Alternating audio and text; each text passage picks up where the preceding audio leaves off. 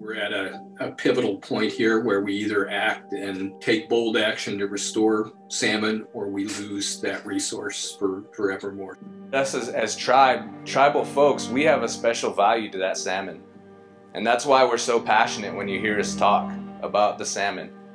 The fight still goes on. We're still struggling to get the environment cleaned up, the water's cleaned up, have enough water. Still trying to protect the salmon still trying to ensure for the native people a way of life that we've had for thousands of years. We're in a time now that we have the technology to make it better. We can start putting back what we've taken out of the earth. I feel that it's something that's incumbent on us, at least in our generation, to do everything we can to try to make sure that both the salmon and the people can survive here because we can't just abandon the fish.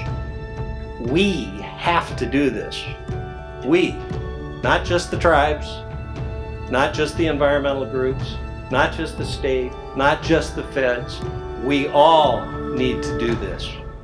I live for that, and uh, it's my life. You work for the people, and you work for their children and their children's children. If we don't do that, then we won't have any fish for the future.